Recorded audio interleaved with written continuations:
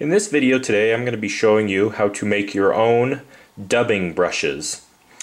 First thing you're going to need is an anchor point, something to hook your wire to. I just use the uh, base of my vise, but uh, you can also use a hook that is drilled into your table uh, or anything that you can just basically wrap uh, the wire around that is nice and heavy. You're going to need a hand drill and uh, I take just a little picture hanging uh, hook if you can see there and uh, I just put it in the chuck of the the drill.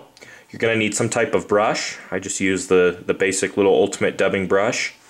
You're going to need some wax and uh, some stainless steel wire. Uh, you can also use a small sized fly tying wire uh, but the stainless steel wire this is made for your dubbing brushes. Then you're going to need your dubbing brush material uh, we're going to be using craft fur. Uh, H2O also makes some great uh, material. You can also use flash or other synthetics, uh, but craft fur is becoming more common. So the first thing that you're going to do is you're going to take your uh, piece of wire and you're going to make it twice uh, the length of the brush that you're going to make. So we're going to make a brush here that's about oh 14 inches, so I'm going to need roughly 28 to 30 inches of wire. All I'm going to do is I'm just going to take this wire, I'm just going to put it through the hook, I'm just going to wrap it around that hook a couple times. Then I'll twist it around the standing portion of the wire. And uh, all you really need to do is just make it secure. If you feel more comfortable tying a knot, then go ahead, tie a knot. It doesn't have to be pretty. It just uh, needs to be secure. So once you have that secure to the, the drill, I'm just going to take the wire and I'm going to stretch it up and along my anchor point, wrap it around my anchor point, then I'm going to take it back to my drill here.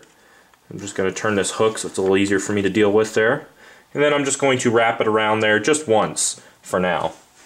So I'll have two pieces of wire there. You can barely see it in the video. Uh, but then the next thing to do is take your wax. You're going to need to wax both pieces of wire. And be fairly generous with this wax.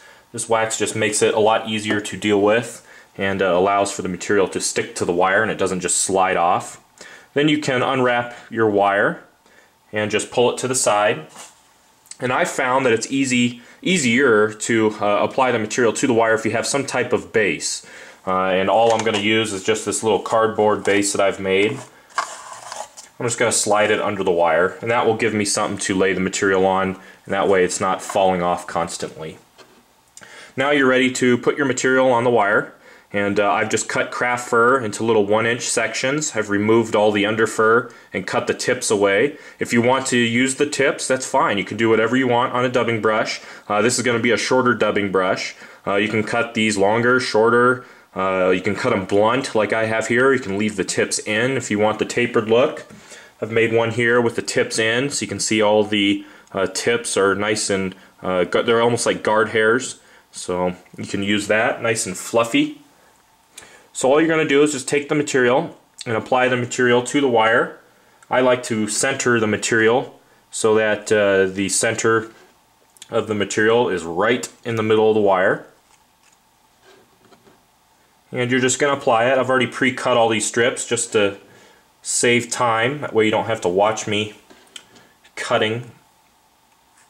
And you try to apply it as evenly as possible. You don't want too many gaps or spaces in the material. So usually what I'll do is once I've applied it, I'll kind of come back in here and apply a little bit more material into the, the gaps. And uh, you have to apply a little bit more than you think you'll need. Uh, these dubbing brushes, one of the reasons they are so expensive when you do buy them is because it does take uh, quite a bit of material. Uh, usually a whole section. This was a brand new piece of craft fur, you can see, and I've used probably a third of it just for this one dubbing brush. So once you have all your material laid out, I'm going to take my wire, my second piece that was pulled to the side, I'm going to lay it right on the material and just pinch it down on the end. I'm going to pull it tight. I'm just going to wrap it around my hook and then I'm going to wrap it around both pieces of the wire here. You just need to do it a couple of times. You can do it more if you feel like that makes you more comfortable. It won't fall apart though if you do it a couple of times. The wire stays put. Now what I'm going to do is I'm just going to barely turn the drill at first, just enough to get some tension on the wire. Then we can carefully pull away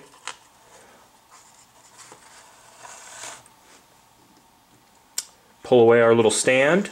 And I'm just going to continue to turn the drill. If some pieces kind of come out, you can just pull them. And start off nice and slow. If you go too fast, it'll all just come flying off your wire. Once you can see the material start to twist, that's when you can speed it up just a little bit more.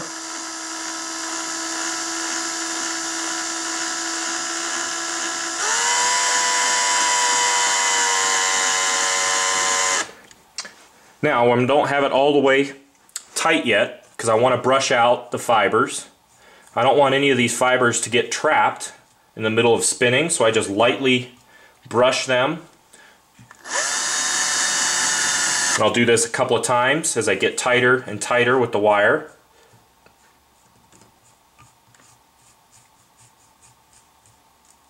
If some material comes out, don't worry about it. That's pretty normal. Some of the under fur gets caught.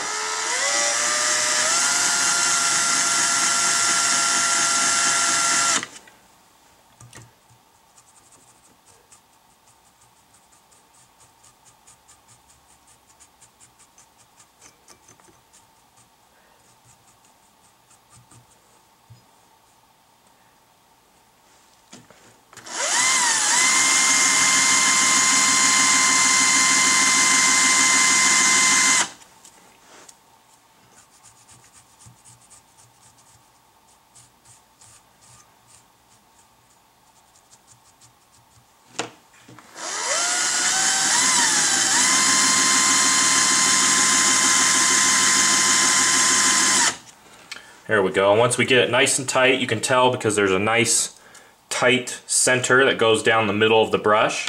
If you have a few longer hairs, you can trim those just to kind of even it out. Or you can leave them. You can do whatever you want, whatever the look you're going for is.